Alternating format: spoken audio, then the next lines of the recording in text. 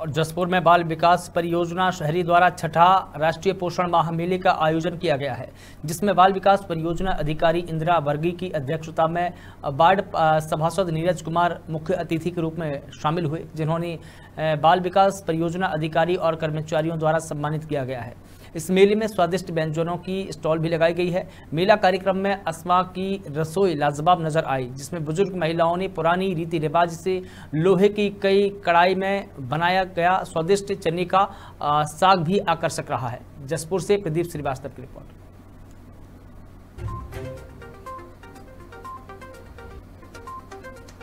हमारा राष्ट्रीय पोषण माह सितंबर का महीना मनाया महिला सशक्तिकरण बाल विकास के विभाग की ओर से पूरे उत्तराखंड में ये प्रोग्राम हमारे चल रहे हैं।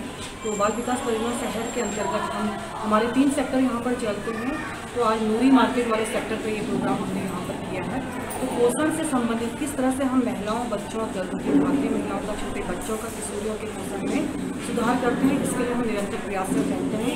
तो आज जो प्रोग्राम हमने यहाँ पर दिया, उस प्रोग्राम में हमने महिलाओं को और अपनी आंगनबाड़ी वर्करों को और लाभार्थी वर्ग को यह कि किस तरह से हमने जो अन्नप्राशन कराए गोद भराई कराई और किशोरी बालिकाओं की प्रतियोगिता यहाँ पर कराई, उन सब के पीछे सबका मकसद ये है कि किसी न किसी रूप में उनके पोषण की स्थिति में सुधार करना है।